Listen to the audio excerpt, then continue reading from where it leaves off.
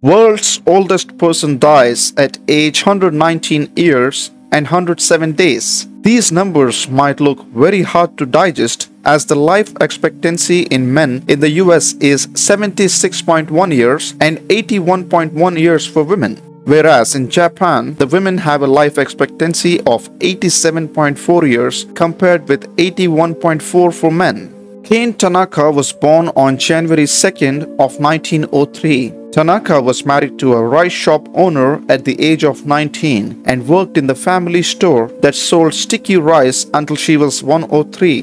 During this time, she has already survived two cancers, two world wars, 1918 Spanish flu. Kane Tanaka was also in the process of participating in the Olympic torch relay during the Tokyo 2020 Summer Olympics. However, this plan of taking the flame as it passed through Shime at her home of Fukuoka had to be cancelled due to the concerns about the pandemic.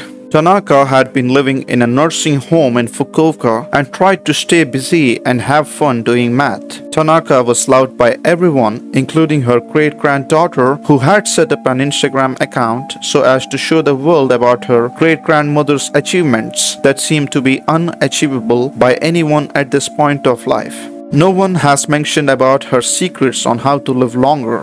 But looking at Kane Tanaka and her life progress, it is evident that having a happy marriage, working for something that you like, engaging doing activities that you like can help you live longer, happier and healthier. Tanaka had no secret ingredients, but as per friends and family, she wasn't much into chocolate and fizzy drinks. Kane Tanaka's death has saddened everyone who was aware of her and the new people who are just getting to know about her. Tanaka became the oldest person living in January 2019 at the age of 116 years and 28 days as per the Guinness World Records. After confirming the death of Kane Tanaka, Guinness World Records is now in search of the oldest person living.